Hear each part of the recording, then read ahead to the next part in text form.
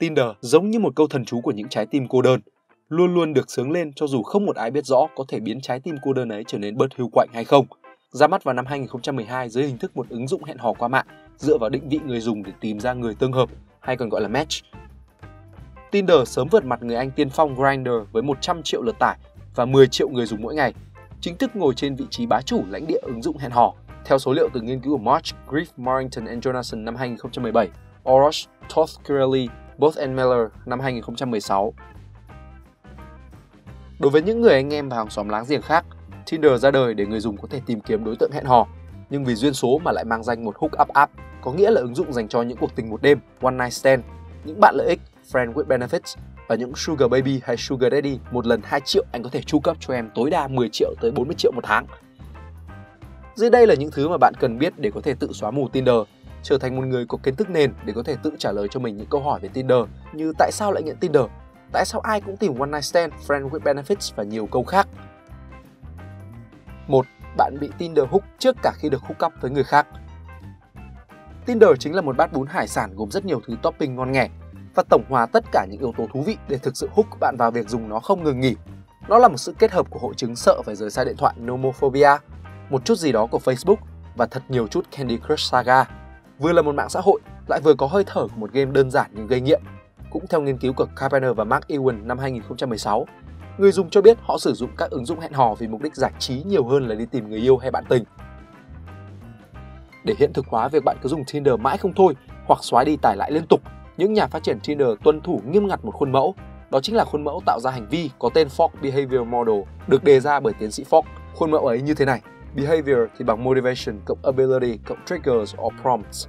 Để khiến một ai đó làm điều gì, bạn cần phải hội tụ đủ ba yếu tố trên: động cơ, khả năng và một chất xúc tác hoặc nhắc nhở. Điều khiển động cơ của người khác là rất khó. Tuy nhiên, chúng ta sẽ tạm thời coi động cơ là có sẵn, vì ai mà chẳng tìm tới Tinder để hẹn hò. Sau đó, Tinder sẽ khiến quá trình trở nên cực kỳ dễ dàng, dễ tới mức người khác làm nó ngay. Điều này thể hiện khả năng. Giống như khi bạn đi vào bếp và tự dưng thấy chai coca trong tầm tay, bạn sẽ bốc nó lên và uống luôn, chẳng vì lý do gì cả, chỉ vì điều đó quá dễ dàng mà thôi. Tinder cũng tối giản hóa giao diện của họ, giảm tối đa thao tác mà người dùng cần làm để đăng ký hoặc đăng nhập. Thậm chí Tinder có thể tự phát hiện số điện thoại và tự điền cho bạn luôn. Việc chia thành các bước đăng ký cũng khiến người dùng cảm giác có thể kiểm soát được các bước và có thể biết được còn bao nhiêu bước phía trước. Sau khi có động cơ và khả năng, giờ bạn cần có một xúc tác. Màn hình chính là thứ tạo nên chất xúc tác của Tinder. Nó có cấu tạo gần giống như cách sắp xếp bảng tin của Facebook hay Instagram. Ta thấy mọi người nối tiếp nhau dường như không bao giờ ngừng. Ta cứ tiếp tục swipe và swipe một cách ẩn danh. Thích thì phải, không thích thì trái. Song song với việc đó, khi ta mở Tinder, ta không thể biết ta đã có bao nhiêu like hay bao nhiêu match đang chờ mình. Chính sự tò mò này đã làm dấy lên nỗi sợ bỏ lỡ FOMO nổi tiếng trong người ta và làm ta muốn swipe tới tối thì thôi. Hệ thống phần thưởng bị đánh thức cũng làm cho ta nghiện. Cứ thế, ta tò mò muốn xem ai match mình, ai like mình, ai super like mình. Hoặc có khi Tinder gửi một thông báo có ai đó vừa quẹt phải thì ta lại có một thôi thúc phải vào luôn để xem ngay. Cơ chế này giống như một mạng xã hội, lại vừa giống một trò chơi điện tử. Trong đó ta thu thập match, thu thập người nhắn tin và những cuộc hẹn mà ta có.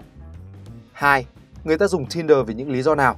Sao lắm người tìm friend with benefits, one night stand, bố đường và con gái đường thế? Họ có bị tiểu đường hay không? Nghiên cứu vào năm 2017 của Sumter, Van Bosch và Lichtenberg đã chỉ ra rằng người dùng Tinder không chỉ theo đuổi những cuộc tình không ràng buộc cực kỳ chấp nhoáng, mà họ còn có những mục đích như sau: tình dục, tình yêu, giao tiếp xã hội, sự đảm bảo về giá trị cá nhân, sự thích thú với thứ mới mẻ và vì thấy nhiều người dùng nên mình cũng dùng luôn. Nghiên cứu này cũng cho biết có nhiều người dùng là nam tìm kiếm tình dục hơn là người dùng nữ. Theo tài khoản Worst Online Dater trên Medium, 80% đàn ông ở top dưới xếp theo độ hấp dẫn đang tranh giành khoảng 22% phụ nữ ở top dưới và 78% phụ nữ top trên tại Tinder lại tranh giành top 20% người đàn ông hấp dẫn nhất. Điều này có nghĩa là nếu Tinder là một nền kinh tế thì nó bất công bằng hơn 95,1% nền kinh tế trên thế giới. Tinder thỏa mãn lòng tự ti về ngoại hình của chúng ta. Tinder thỏa mãn hầu hết các nhu cầu, từ nhu cầu vật lý, nhu cầu về xã hội lẫn nhu cầu về sự tò mò. Chúng ta muốn biết người khác nghĩ gì về chúng ta, về sở thích, về tính cách và trí thông minh cũng như sự hiểu biết. Tuy vậy, tiến sĩ Jessica Schreiber của Đại học North Texas cho biết, người dùng Tinder có mức hài lòng về khuôn mặt và cơ thể thấp hơn so với người không sử dụng ứng dụng này. Con người là loài vật xã hội, họ không ngừng tìm kiếm những mối quan hệ, những kết nối và song song đó, con người không ngừng tìm kiếm bạn tình, những đối tượng giao phối thích hợp, bởi chẳng có gì lại quan trọng hơn việc nối dõi dòng giống cả. Trong rất nhiều nền văn hóa, việc tìm được bạn đời hay bạn tình luôn luôn là một trong những ưu tiên hàng đầu khi bước vào tuổi trưởng thành. Chính vì điều đó, con người hẹn hò như là một bước để tìm hiểu, để biết được đâu là người bạn tình thích hợp của mình và họ có những chiến thuật khác nhau. Chiến thuật tìm bạn tình và giao phối ngắn hạn Sự khác biệt theo giới tính trong hành vi hẹn hò qua mạng đã được phát hiện trước đây. Theo nghiên cứu của Abramova, Bauman, Krasnova và Buxman năm 2016, nam giới dùng Tinder để tìm bạn thỏa mãn ham muốn tình dục nhiều hơn là nữ giới. Theo Carbaner và Mark Ewan năm 2016, một nghiên cứu khác thì lại cho biết phụ nữ và đàn ông có những chiến thuật khác nhau khi dùng Tinder. Ví dụ như nam giới Tinder thì thường ít kén chọn với các match của mình hơn. Điều này cũng khá tương đồng với thuyết đầu tư cha mẹ, Parental Investment Theory của Trivers năm 1972, liên quan tới việc đầu tư thời gian, năng lượng và nguồn thức ăn mà một phụ huynh dành cho con mình và chiến thuật tìm bạn tình ngắn hạn ở người, Short Term Mating Strategy. Sự đầu tư này có thể khác nhau giữa người cha và người mẹ, dẫn tới kết quả là sự khác biệt khi lựa chọn bạn tình, theo Schmidt và các đồng sự năm 2003. Ở người, nữ giới thường đầu tư nhiều hơn vào con cái so với nam giới. Chính bởi vì bỏ ra quá nhiều thứ như trứng, 9 tháng mang nặng đẻ đau, vô số rủi ro trong thai kỳ và những cái giá đắt đỏ khác, phụ nữ sẽ lựa chọn kỹ càng hơn là đàn ông. Những người chỉ cần bỏ ra cái giá không đáng kể là nguồn tinh trùng dồi dào. Đó chính là nguyên nhân cho việc có nhiều đàn ông ở trên Tinder hơn là phụ nữ. Vì Tinder nhấn mạnh vào số lượng chứ không phải chất lượng. Và đàn ông thì cũng tìm kiếm tình dục không ràng buộc nhiều hơn. Trong tâm lý học tiến hóa và sinh thái học hành vi, chiến lược giao phối của con người là một tập hợp các hành vi được sử dụng bởi các cá nhân để lựa chọn, thu hút và giữ chân bạn tình, theo Wikipedia. Tuy vậy, song song với việc cân nhắc yếu tố này, chúng ta cũng cần cân nhắc hai yếu tố khác nữa, bởi chiến thuật giao phối ngắn hạn không chỉ được sử dụng bởi mỗi đàn ông. Nghiên cứu về thuyết chiến thuật tình dục Sexual Strategy Theories của Bush and Schmidt vào năm 1993 cho rằng chiến thuật giao phối càng nhiều và càng nhanh càng tốt này giúp ích cho cả con cái và con đực, chỉ là mục đích của hai giới là khác nhau. Trong khi nam giới muốn gieo hạt giống càng nhiều càng tốt, phụ nữ dùng chiến thuật này để tìm kiếm một con đực đáng tin cậy hơn.